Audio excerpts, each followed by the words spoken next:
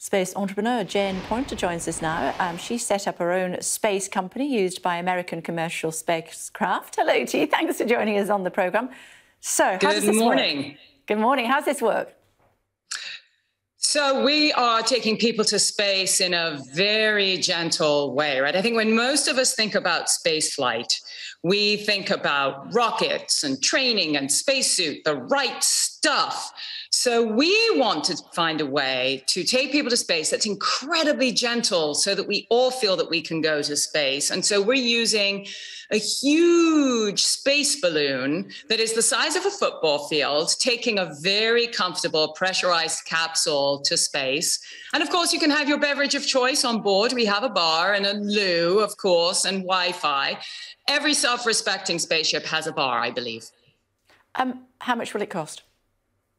So ours costs $125,000 a piece. And there are, of course, other ways to get to space, which are vastly more expensive. So we're pretty excited that we are going to space, but we are able to really bring the cost down significantly already. And we're pretty excited about the, the uptake that we've had. The demand is huge. We put tickets on sale earlier this year in February. We've already sold over 450 tickets. So people really want to go to space. Um, how long can they stay there? So our flight is six hours long. It takes you roughly two hours to get to space. You're going there at a blazing 12 miles an hour. Then you're going to be up at apogee at the top for two hours so that you can look out the windows 360 degree panoramic view to have that incredible view of earth in space that astronauts talk about. Like it really moves them when they see that view. And then two hours down again. Um, what are the risks so, this is truly the safe way to go to space. The space balloon that we are flying a pressurized capsule with has been used by NASA and others thousands of times. And so, of course, it, that has really tested the technology and put it through its paces. And then between the capsule and the balloon, there is, of course, a parachute, and it's a pre deployed parachute. And this kind of system has been used also thousands of times and has never failed in all of that time. So, it's, it's an incredibly safe way to go to space. Um, who are your customers, clients? What do you call them? Passengers? We call them explorers, actually, because we want really want think that people are, are discovering a new perspective, a, a new way of seeing our, our planet.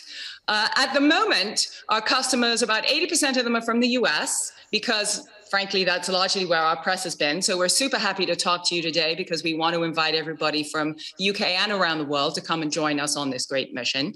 Uh, and I would say that a lot of them are men, but I, we are also seeing a lot of women coming on board because it's so accessible, which is super. And what's really fun is that we're seeing people buying up full capsules so that, that which is eight people and a pilot and that way they can take their entire family, they can get a group of friends together to go. So it's really becoming a social event in space, which is really awesome to see. How eco friendly is it? Yeah, that's a great question. So, this is essentially a, a near zero emissions space flight. Uh, and as a company, we're also carbon neutral. Uh, which is amazing. Um, how far? I mean, you said 125,000 pounds. That's that's uh, unaffordable for a vast majority of people. How quickly before that price starts to come down? Yeah, so I, to be fair, we have such huge demand. It is quite likely that the price will go up a little bit before it comes down. We do certainly have a long term vision of getting the price down. But you know what's exciting for us because this is so accessible, we're able to involve such a broad swath of people who otherwise really just couldn't consider going to space.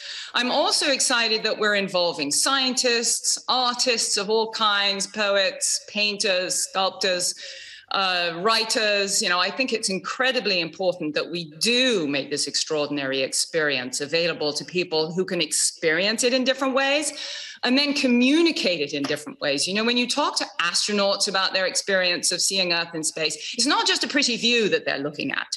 For them, it is deeply emotional and moving, and they have this incredible connection with our planet and what they think of as the singular human family on spaceship Earth.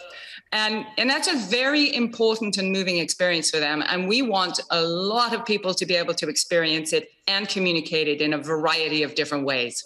And when's the first flight, Jane? Yeah, so we're going up at our first commercial flight around the end of 2024, and our first human test flight will be in 2023. So it's soon. Yeah, exciting stuff. Keep in touch. Thank you very much. Thank you.